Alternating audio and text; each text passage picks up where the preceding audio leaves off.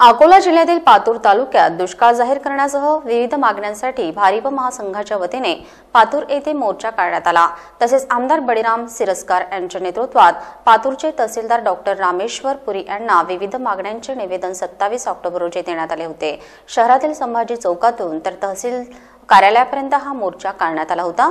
यामध्ये भारिप बहुजन महासंघाचे पातूर तालुका महिला आघाडी सम्यक विद्यार्थी आंदोलनाचे कार्यकर्ते सहभागी झाले होते.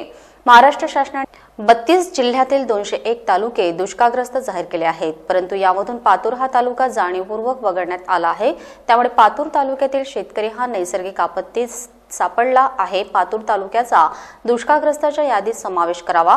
विनाअट संपूर्ण कर्जमाफी करण्यात यावी. नाफेडचे सन दोन हजार सतरा ते अठराचे तूर हरभरा यांचे चुकारे तत्काळ देण्यात यावे. हमीभावाने शेतमालाची खरेदी करण्यात यावी. पीक विमा लागू करण्यात यावा. आदींसह इतर मागण्या निवेदनात करण्यात आल्या आहेत. या मागण्यांची दखल न घेतल्यास आंदोलन करण्याचा इशारा भारिप बहुजन महासंघाने दिला आहे.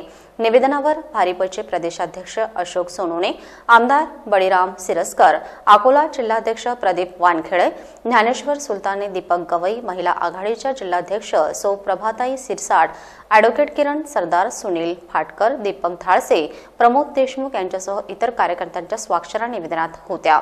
अशी माहिती अकोला येथून आमचे प्रतिनिधी निलेश किरतकर यांनी दिली.